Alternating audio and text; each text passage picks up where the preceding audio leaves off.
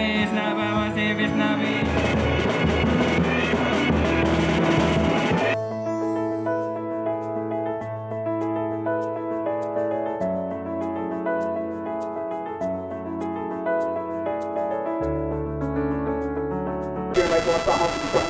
नमस्कार, मैं रेनू प्रीति, आप सभी का स्वागत है संवाद 365 में। आज उत्तराखंड के लिए बेहद खास दिन है, क्योंकि आज उत्तराखंड को पांचवा सैन्य धाम मिलने जा रहा है। बहुत दिनों से इसको लेकर तैयारियाँ जोरों शोरों से की जा रही थी, और आज एक, आज आखिरकार वो दिन आ गया, यानी कि 15 दिसंबर 2021 को सैन्य धाम की नींव देहरादून में रखी जा रही है। इस वक्त हम उसी भूमि पर मौजूद हैं, जहाँ पर सैन्य धाम का निर्माण किया जाएगा। देश के रक्षा मंत्री राजनाथ सिंह यहाँ पर पहुँचे हुए हैं और साथ ही राज्य के मुख्यमंत्री पुष्कर सिंह धामी, पूर्व मुख्यमंत्री त्रिवेंद्र सिंह रावत के साथ कई गणमान्य लोग यहाँ पर मौजूद हैं और आज राज्य को बहुत ही ऐतिहासिक दिन आज के लिए माना जा रहा है, क्योंकि आज सैनिक धाम यहाँ पर बनेगा, जिसकी नींव यहाँ पे रखी जा चुकी है। इस वक्त यहाँ पे रक्षा मंत्री जी मौजूद हैं और वो यहाँ पर आए। सभी जिलों के सैनिक परिवारों को संबोधित कर रहे हैं। देशभक्ति की भावना यहाँ पे ओत प्रोत सभी में देखी जा सकती है। यहाँ पर कई जिलों से सैनिक परिवार आए हुए हैं। शहीदों के परिवार यहाँ पर आए हुए हैं और उनमें एक अलग ही उत्साह देखने को मिल रहा है। नम आँखें हैं कई लोगों की, क्योंकि उन्हें उन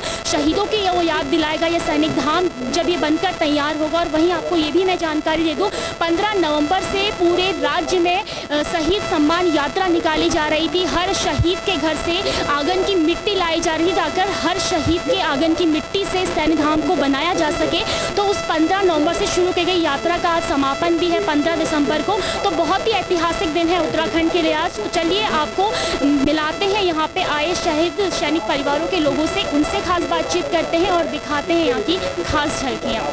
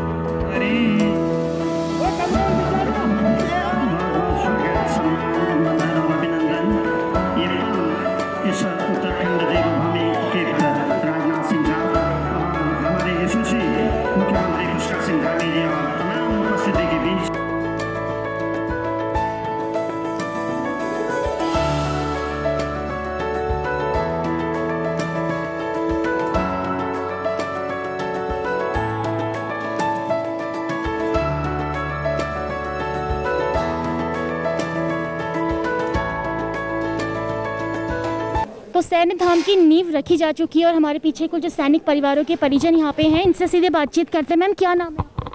अरुणामल। आज बहुत गौरव का दिन है उत्तराखंड के लिए। नींव सैन्य धाम की रखी जा चुकी है। क्या कुछ कहेंगे? कैसे देखती हैं इस पर? गौरव महसूस हो रहा है हम लोगों को। इतने दिनों के बाद हमारे बच्चे का शहीद आत्मा को आज शांति मिलेगी। बस यही बहुत खुशी की बात है। गौरव कहाँ से हैं आप? हम लोग रायपुर ब्लॉक मोहकमपुर। मोहकमपुर से। उत्तराखंड की धरती ने बहुत सारे सैनिक दिए हैं। आज सैन्य धाम उत्तराखंड में बन गया है। क्या कुछ कहेंगे बहुत ही अच्छा लग रहा है हमें तो। मतलब उत्तराखंड का ये सौभाग्य की बात है। हम लोग सब सभी के सौभाग्य की बात है ये। ये चीज़ इतना बड़ा कदम उठाया है सरकार ने। मैं जो हूँ गोरखा राइफल से हूँ।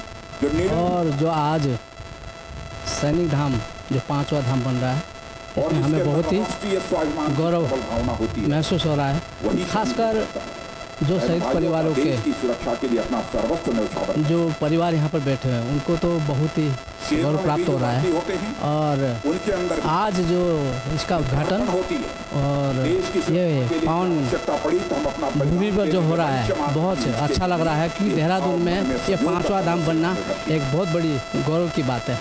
खुशी है बच्चों का नाम आ रहा सैनिकों का नाम आ रहा। बहुत खुशी की बात है सबका नाम आ रहा इसी में। लग रहा है क्योंकि शहीदों को याद किया जा रहा है। मैक्सिमम याद नहीं किया जाता शहीदों को और फौजी परिवार को कुछ समझा ही नहीं जाता। जैसे कि एक खिलाड़ी जीत गया तो उसे गवर्नमेंट की तरफ़ से बहुत अवार्ड दिए जाते हैं। उसे सरकारी नौकरी दी जाती है, उसको एक नाम फेम पद सब दिया जाता है। लेकिन जब एक फौजी मरता है तो उसको कुछ नहीं दिया जाता। उसकी फैमिली को कुछ भी नहीं दिया जाता। यहाँ तक याद भी नहीं किया जाता। तो आज थोड़ा सा अच्छा लग रहा है। कि मतलब ऐसा होना चाहिए। पति, स्वर्गीय दीवान सिंह और मेरे ससुर, स्वर्गीय गगन सिंह और मेरे पापा स्वर्गीय रघुवीर सिंह। ये सभी में, सभी हमारे फौज में फौज में थे। उन्होंने बहुत कार्य करे। और सबसे बड़ी बात तो यह कहूँगी कि मैं शहीद की पत, उनकी पत्नी हूँ फिर भी मेरे तो वो मेरे हस्बैंड की डेड बॉडी भी यहाँ नहीं आई। और हमने तो देखा भी नहीं। और ये सैन्य ये सैन्य धाम जो बन रहा है इससे इससे हमें ये बहुत खुशी होगी हमें। इस प्रकार की